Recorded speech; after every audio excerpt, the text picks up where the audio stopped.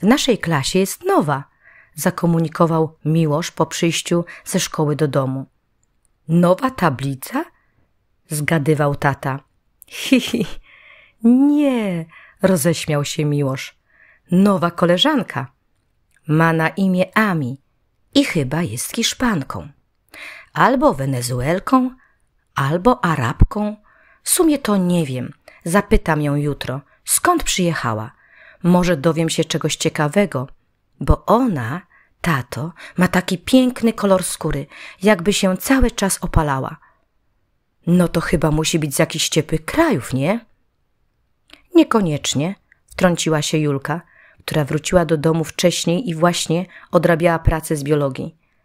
Bociany też przylatują z ciepłych krajów i wcale nie są opalone. Skojarzenie było zabawne i Julia użyła go, żeby rozbawić rodzinkę, ale Miłosz wcale się nie roześmiał. No wiesz, nie porównuj Ami do bociana.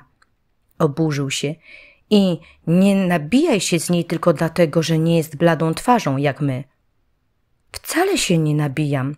To miał być żart. Nieśmieszny. Przepraszam. No i co ta Ami? Jeszcze nie wiem. Chyba fajna. Super wspięła się na pająka na placyku i szybko wycina figury z ćwiczeń. A jak mówi po angielsku, szkoda, że nie zgłosiłem się, żeby być z nią w grupie. Grupie do wykonania zadania domowego.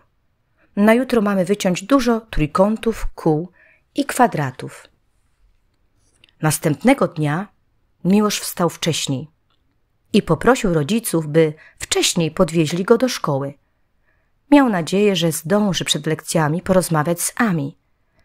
Przerwy są na rozmowy zdecydowanie za krótkie, a zagadanie na lekcjach miał już dwie uwagi, więc trzeciej złapać nie chciał.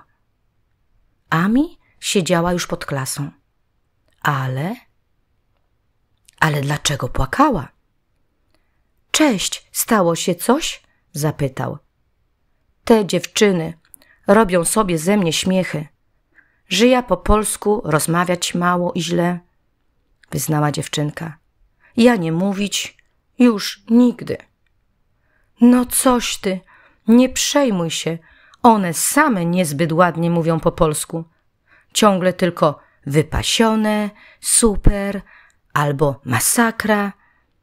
A poza tym, im więcej będziesz rozmawiać, tym lepiej poznasz polski. Możesz rozmawiać ze mną.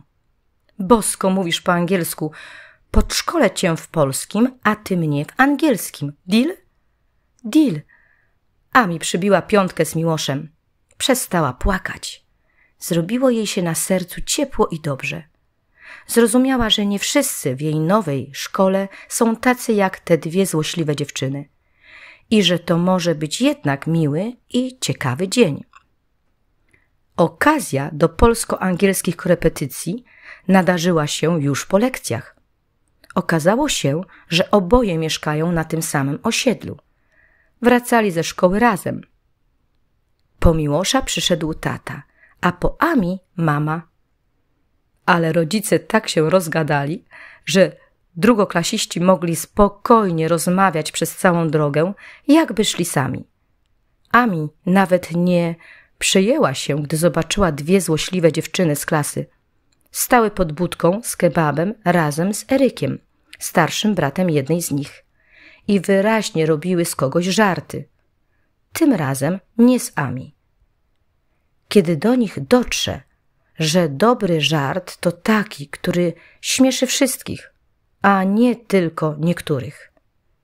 Miłosz był wyczulony na takie zachowanie. Eryk wyciągnął komórkę i zaczął nagrywać starszego mężczyznę, którego strój rzeczywiście przyciągał uwagę. Dla Miłosza i Ami był to jednak powód do podziwiania jego pomysłu i odwagi, a dla Eryka i dziewczynek do drwin. Mężczyzna do wytwornego garnituru założył sportowe buty w kolorze wściekłego fluo i żółtą czapkę. Eryk postanowił uwiecznić tę stylówkę pstrykając panu zdjęcie. Już za chwilę zdjęcie człowieka w kolorowych butach i czapce znalazło się z płaczącymi ze śmiechu emotkami w telefonach wszystkich znajomych Eryka. Wśród nich była także Julka, starsza siostra Miłosza. Spróbuj być bardziej tolerancyjny. Świat jest dla wszystkich, nie tylko dla ciebie. Odpisała Julia. A Miłosz postanowił, że jutro porozmawia z dziewczynkami, zanim swoją bezmyślnością i brakiem tolerancji zarażą innych w klasie. Podsumowanie. Tolerancja to zgoda na różnorodność ludzi i świata. Ludzie są sobie równi, ale są też cudownie różnorodni. Gdybyśmy wszyscy byli tacy sami, byłoby nudno i nie potrzebowalibyśmy siebie wzajemnie. Ludzie dzielą się na dobrych i złych. Narodowość, rasa, religia nie mają żadnego znaczenia, tylko to, jakim kto jest człowiekiem. Irena Sendlerowa W dzieciństwie słyszałem od ojca, że podstawowym kryterium oceny człowieka jest jego uczciwość, nie zaś narodowość, pochodzenie czy wiara. Uczciwość. Władysław Bartoszewski